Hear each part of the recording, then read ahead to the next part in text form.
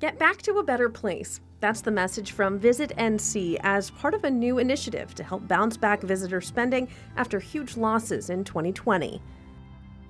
Yeah, it was about a $10 billion hit in visitor spending. We went from about 29 billion a year that visitors spend in the state to about 19.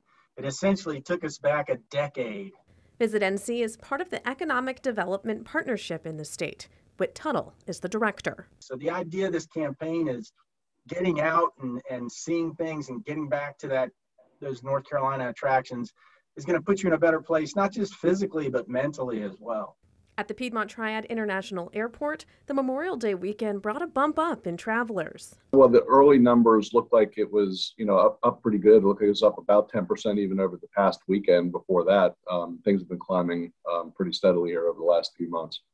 Kevin Baker, the executive director of PTI, estimates 10 to 12,000 people came through this weekend. He says he's optimistic about the numbers for business and recreational travel. You know, certainly there's a lot of business travel coming back. You can see it. You can just see the people. You can tell who's traveling on business versus uh, for, for leisure.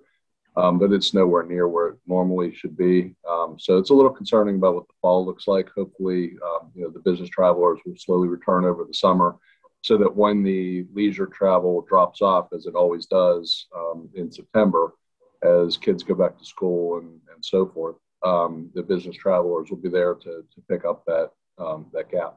Tuttle says their research shows visitors still want to see warnings about COVID 19, but are becoming more and more comfortable with traveling in the state.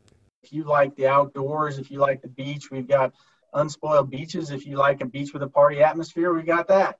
Uh, if you want a nice little mountain hideaway, you've got that. If you want a historic village, those type of sites, we've got just about everything anybody could want. He says Visit NC has a lot of information about the sites to see in the state. He says he hopes that in turn brings back jobs and business. We think North Carolina is the perfect place uh, for everybody who's been shut in, you know, essentially for a year to get back and do whatever that thing is that you want to be and what we call get back to a better place. Leanne Denyer, WXII 12 News.